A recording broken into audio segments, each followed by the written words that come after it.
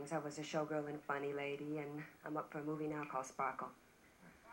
Knock on wood. Thank you.